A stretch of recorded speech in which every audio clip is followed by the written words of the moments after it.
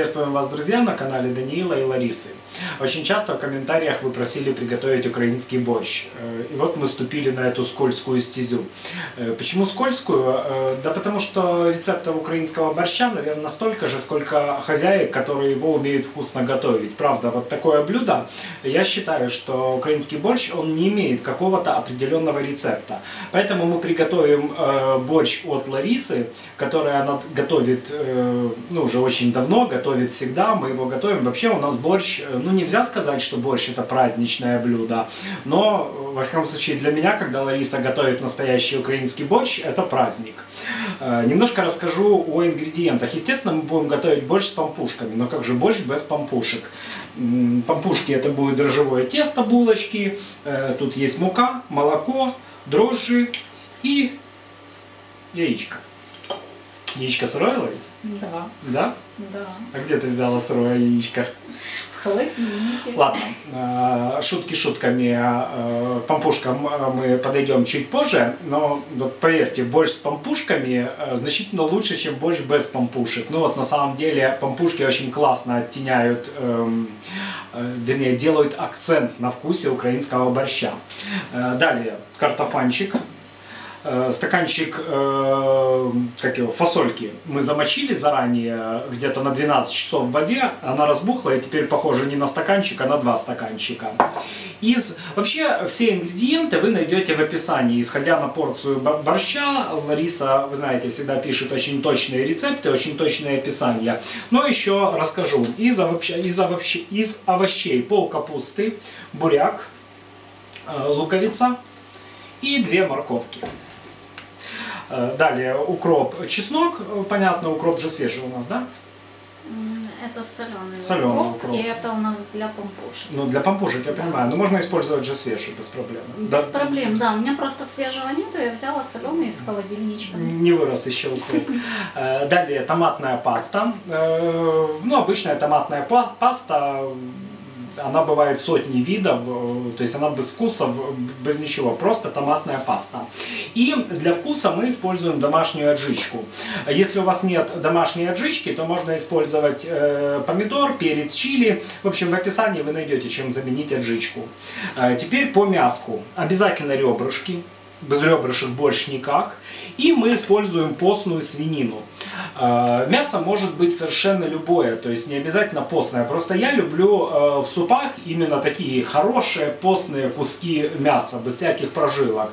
Можно использовать более жирное мясо, борщ, естественно, будет более наваристый. Но ребрышки нам и так дадут хорошую наваристость, хороший такой вкусный бульон, поэтому, ну вот, э, нам нравится из постной свинины. А если вам нравится из ошейка, пожалуйста, нарежьте ошейк вот такими вот кусочками, будет просто ну, более такой, более плотный бульон, более наваристый, более вкусный, наверное, даже. Итак, друзья, начнем, э, начнем, так сказать, готовить, а то я заболтался. В первую очередь, нам, естественно, надо приготовить основу для борща, это бульон. Отправляем все мясо в кастрюлю, ставим на большой огонь и ждем, пока закипит. Э, причем, э, друзья, не пропустите момент закипания в тот момент, когда когда э, бульон начнет закипать, э, начнет образовываться такая достаточно плотная пенка всплывать. Эту пенку надо обязательно тщательно снять. Мы вам покажем как. Если этот момент пропустить, то бульон будет непрозрачный, будет мутный. Э, на вкусовые качества это особо не повлияет, но на внешний вид борща не лучшее, на мой взгляд, влияние окажет. Итак, отправляем его на плиту. Вот бульончик начал закипать начала появляться пенка. Ну, еще его называют шум. Эту пенку надо тщательно и аккуратно, собрать. Э, Причем она будет некоторое время появляться. Смотрите, сейчас собираем первую порцию. Э, после этого бросим э, буквально щепотку соли в бульон. То есть мы его еще не солим, а просто вот щепоточку соли. Это улучшит отделение пенки. Собирать ее надо 3-4 раза, ну практически пока она перестанет выделяться чтобы у нас получился бульончик совершенно прозрачный. Да, кстати, э, немаловажный момент. Бульон варим 40 минут на медленном огне. Нам не надо, чтобы он сильно бурлил и выкипал, а вот так вот, чтобы он чуть-чуть кипел, э, спокойненько на, на медленном огне его варим. Пока готовится бульон, займемся нашими помпушками. Подогрели молоко до температуры 37-38 градусов. Э, ну, его надо подогреть немножко, то есть не комнатной температуры, чтобы оно было тепленькое. Добавляем молоко полторы ложки э, сахара. Вот такие полные прям с горкой, да. Первая с горкой. Ну, вот так вот Лариса считает, что это полторы ложки. Я бы сказал, бы, что это две ложки. Э, хорошенько размешиваем, э, высыпаем на поверхность дрожжи, дадим э, дрожжам впитать влагу немножко. То есть после того, как мы рассыпем их на поверхности, оставим их в покое минутки на 2 на 3. После этого все тщательно перемешаем и поставим на 15 минут в теплое место, чтобы дрожжи могли стартовать, чтобы они запустились, активизировались. После этого уже будем готовить само тесто.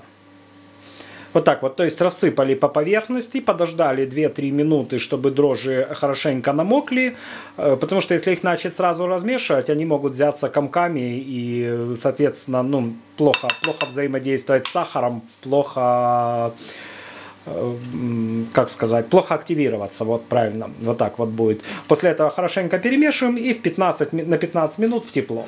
А пара подошла, дрожжи активировались, теперь э, приступим к приготовлению теста.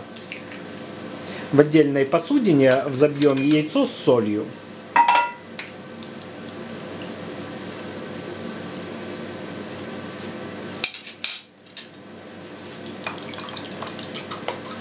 Его просто размешать или его именно взбить надо? Ну, его надо хорошо размешать, чтобы белок соединился с желтком, скажем так. Mm-hmm. То есть не до пены, а просто чтобы оно было однородное.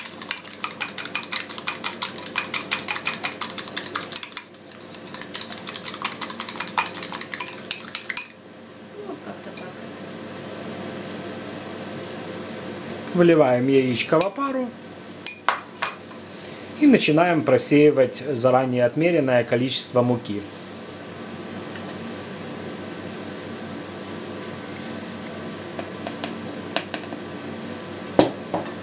После этого хорошенько вымешиваем тесто. Вначале размешиваем его ложечкой, пока оно будет мешаться. После того, как тесто перемешали, добавляем 3, 3 ложки растительного масла. В данном случае мы используем оливковое.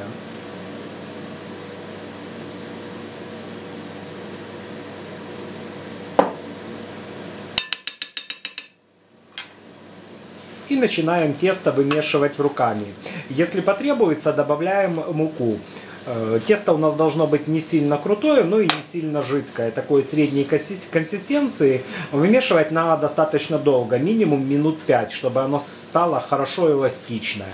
Хорошенько вымешанное тесто сворачиваем вот такой вот колобочек, накрываем пищевой пленкой и ставим подходить э, где-то при температуре хотя бы градусов 30 на час. Оставляем его вот так вот накрытая пленочкой в тепле Пусть оно у нас подходит. Тесто подошло. Можно сформировать наши помпушечки. Помпушечки, хрюшечки будут.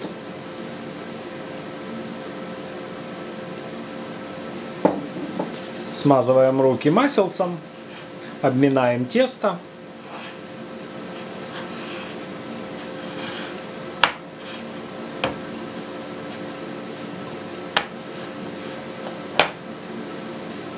Красота какая. Может колобка лучше испечем?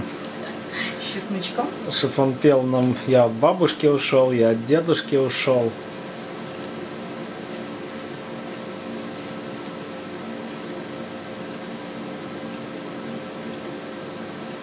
Сформировав вот такую вот колбасу, отщипываем порционные кусочки и формируем помпушки.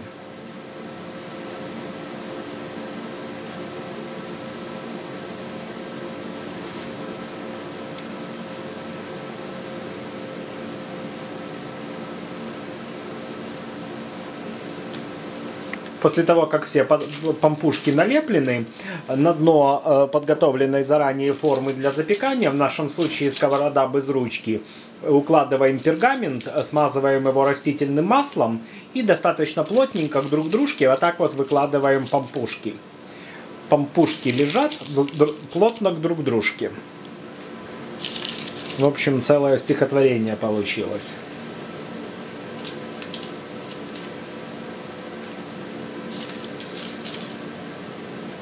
Оставляем пампухи еще на 10 минут в теплом месте, э, чтобы они немножко подошли. В это время разогреваем духовку до температуры 180 градусов. Естественно, мы приготовили яичко, э, ну просто э, взбили так легонечко вилочкой яичко, для того, чтобы потом пампушки смазывать во время запекания, чтобы сформировать красивую золотистую корочку. Через 10 минут смажем пампушки э, разболтанным яичком.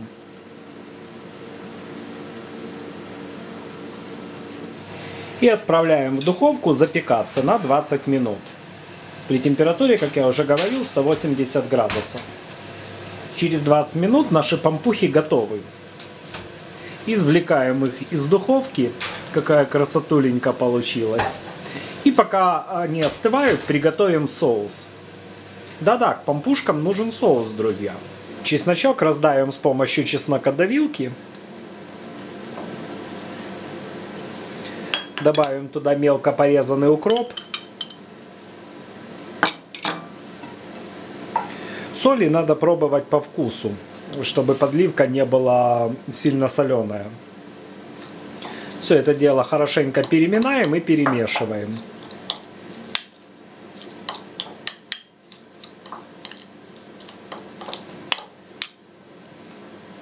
Добавляем чуть-чуть кипяченой водички.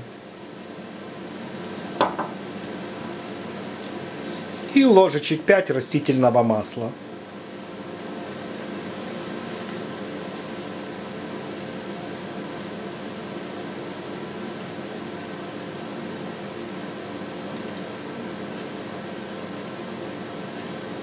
Еще раз хорошенько перемешиваем и вуаля. Подливка или соус для наших пампух готов. Друзья, это настолько вкусно. А кушать как хочется. В общем, сейчас доваривается борщ и будем все пробовать. Через 40 минут э, отправляем в бульончик фасоль и варим еще 20 минут. Продолжаем варить на медленном огне. Так, чтобы он чуть-чуть кипел. Пока варится фасоль, подготовим остальные овощи. Лук нарежем кубиками примерно, ну, примерно по сантиметру, может чуть меньше. Лучок нарезан.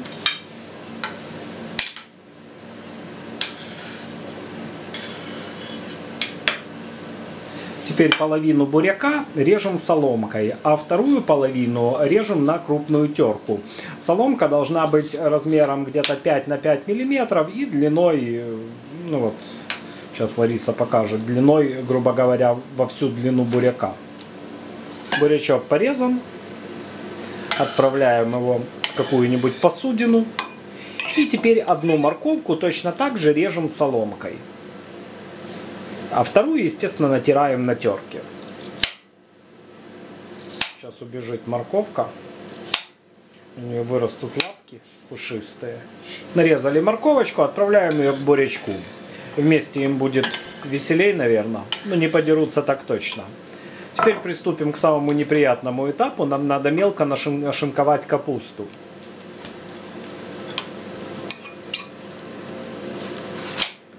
Вот таким вот образом. После того, как нашинковали капусточку, а где кочерышка моя? Зачем тебе кочерышка? Ну, погрызть, чтобы зубки не болели. Спасибо. Приступим к картофанчику.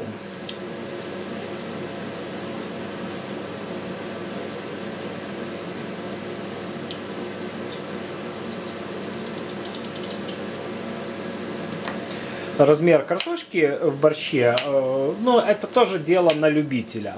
То есть Лариса режет э, вот такими вот небольшими кубиками, где-то по полтора-два сантиметра. Э, если любите большие куски картошки, можно порезать побольше. Но мне кажется, что это не лучший вариант. Лучше все-таки вот так вот помельче нарезали весь картофанчик и перемещаем его обратно в водичку. Не забываем, что э, на, ну, на воздухе просто, если оставить картошку, она очень быстро, крахмал, вернее, содержащийся в картошке, очень быстро потемнеет и испортит нам вид борща. Э, практически все приготовления, за исключением того, что теперь натираем э, половинку бурячка и оставшуюся морковку на крупную терку. Порезанный буряк и морковку и лавровый листик, как оказалось, отправляем э, в наш борщ. Будем его называть уже не бульон, а борщ. Перемешиваем и оставляем вариться на 10 минут. А в это время приготовим зажарку. На разогретую сковородку э, наливаем немножко растительного масла. И обжариваем лук до золотистого цвета. Вот я люблю все обжаривать до золотистого цвета. Займет эта процедура минут 5.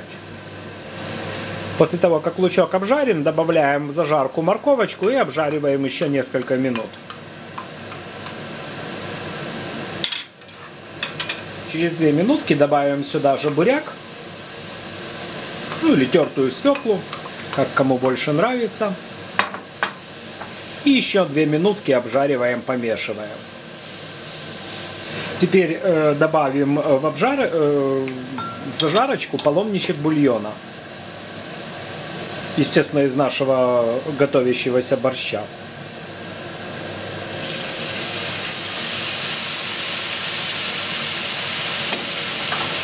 Уменьшаем огонь до минимума, накрываем крышкой и оставляем тушиться на 10 минут.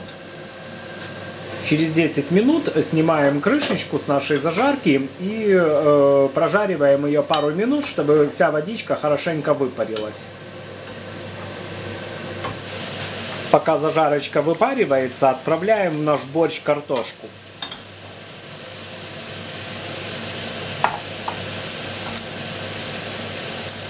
Картошка пусть поварится где-то 15 минут в борще, а мы закончим наши действия с зажаркой.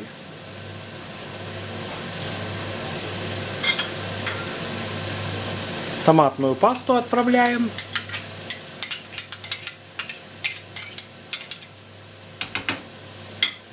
И аджичку. Все хорошенько перемешиваем и прожариваем еще несколько минут.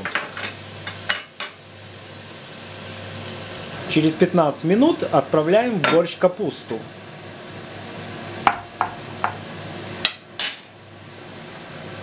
И Перемешаем, естественно, и с капустой варим еще 10 минут. Ой, какой хороший борщик получится. И кушать уже хочется.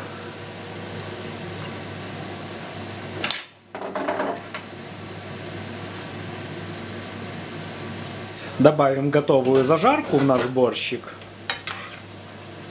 Друзья, как он пахнет вкусно. Это вообще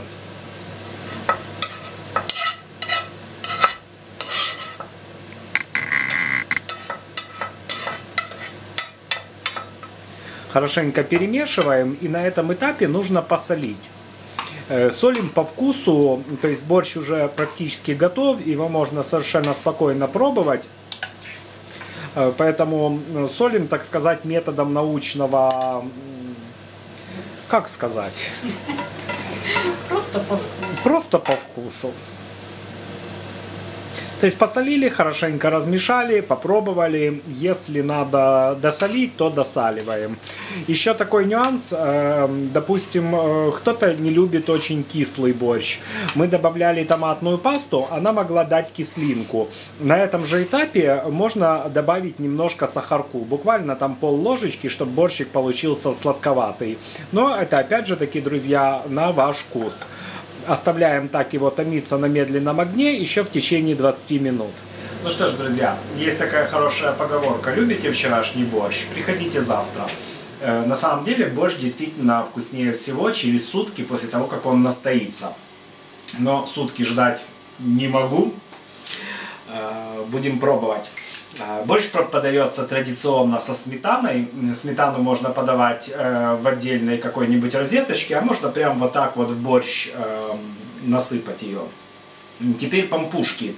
Пампушки можно подавать отдельно соус, а можно сразу же полить соусом, но мне это не очень нравится, потому что они размокают. Поэтому вот так вот берем, поливаем пампушечку вкусненьким соусом. Ну что, друзья, попробуем борщик. Ну, скажу вам, я-то знаю этот борщ. Ларисин борщ самый лучший борщ в мире. Закусим пампушечкой. М. Сочетание вкуса сдобной булочки с чесночной подливкой и с борщиком – это нечто. Это вкус Украины, друзья. Я его обожаю, если честно.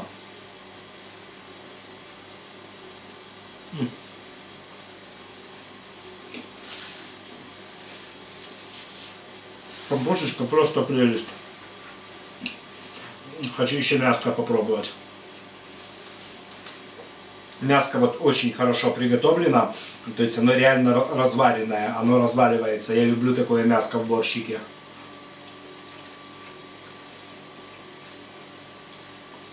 И на вкус просто тает во рту. Ну, больше у нас удался. Очень вкусно. Очень многие подписчики просили, чтобы мы приготовили украинский борщ. Вот, пожалуйста, с удовольствием делимся с вами рецептом нашего фирменного борща. Э, Ну, как я уже говорил, э, сколько хозяек, столько и рецептов борщей. Попробуйте приготовить по нашему рецепту, очень надеюсь, что вам понравится. Ну и надеюсь, вам было интересно посмотреть это видео, друзья. Подписывайтесь на наш канал, чтобы ничего не пропустить. Оставайтесь с нами. А мы с Ларисой будем снимать для вас новые интересные рецепты. Всего доброго, пока.